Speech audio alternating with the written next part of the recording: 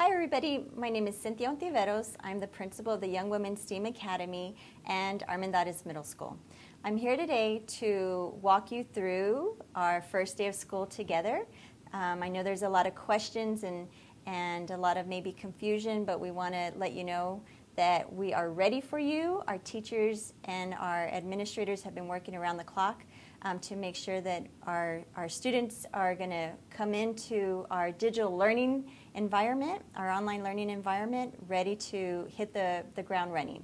So first we'll start with um, visiting our episd.org webpage. And um, I just wanted to show you where you can find all of the information that you need as a parent. Um, a lot of questions we get is what, what does my student schedule look like? How do I get into Schoology? So I'm going to show you all of that right here. So on this web page we have some quick links for you that you can find at the bottom um, where it'll take you directly to Parent Portal.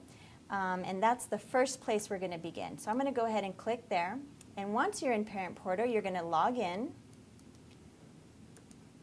And as you log in, you're going to select your student. So I'm going to select one of my students here. At the top of this page, you're going to see different tabs.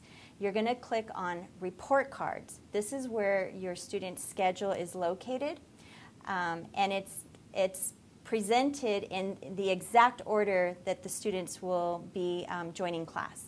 So for the example here, um, we have Ms. Guerrero um, first period, second is Ms. Arredondo, third Ms. Pacheco. That's just an example. So now what do we do? So next you're going to um, show or have your student um, go to Schoology. Dot, I'm sorry, episd.schoology.com.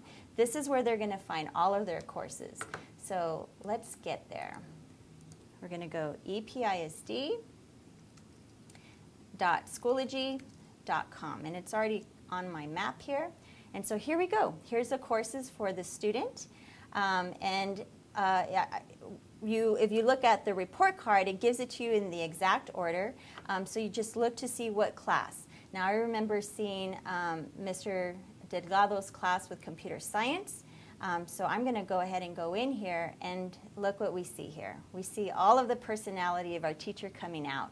Um, although we're on this virtual environment um, learning experience, our teachers are working really hard to make sure they make that personal connection with you. So you'll see a lot of personality come out in their pages.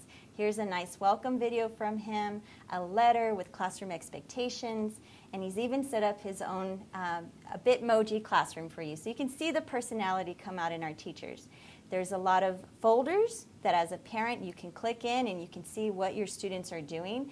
Um, but we're working one week at a time, so it's not overwhelming for you. But go ahead and go in there and take a look, look to see what your teachers have posted, um, and reach out to them if you have any questions.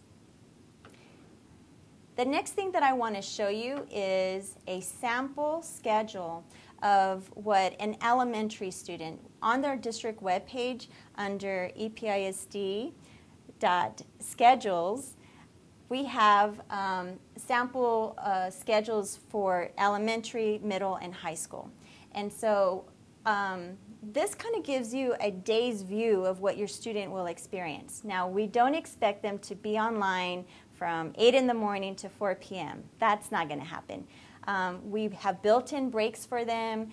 Um, even within our class, we want to make it as engaging as we can. And so there's discussions, there's opportunities for them to do work on their own and then maybe come back with their teacher. And so you'll see that variety within your classes. So this example here, of course we want our student to wake up early, have a great breakfast, and be ready. Sit in a place where maybe it's quiet and they're ready to, um, to learn.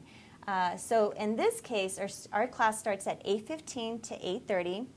And we're starting, we're easing our way into our day with social emotional learning. And this is where the teacher gets to check in with his or her students just to see how they're doing. Um, relationships and building rapport with our students is very important. And this SEL connection is where this is going to happen um, at the beginning of the day and, of course, throughout the day. You'll also see that the different um, content areas are broken up into um, hour or so sections, and there's also breaks, okay? Um, we, we know that our students, um, there's a, a, um, the activities and the discussions and so forth, but they also need time to get up, walk around, maybe get some fresh air, and those will be built in. There's also, if you can see here at the end of the day, there's what's called enrichment. And several of the classes, and depending on what, your, what level your student is in, will have that. Um, but this is a time to check in with your teacher. Maybe they need tutoring. Uh, maybe they just want to ask some questions. Maybe you want to also see and join in with your student um, for that additional support that you may be able to provide. Um, and then lastly, it's the end of the school day. Time for them to, to relax, um, get their work in, maybe have a great dinner with the family, and then get ready for the next day. Uh, please, please know that we have been working really hard around the clock uh, for, to get ready for this day, and we're here to help you. If you have any questions, you can reach out to your campus administrators, your teachers, um, and uh, call them or text them, email them. A lot of our campuses has set up um, Zoom rooms where you can you know, join in live or also call them using Google phone numbers. So take advantage, and, and if you need help, please reach out and ask for that help. We're here for you, and we can't wait to start the, the first day of our school year.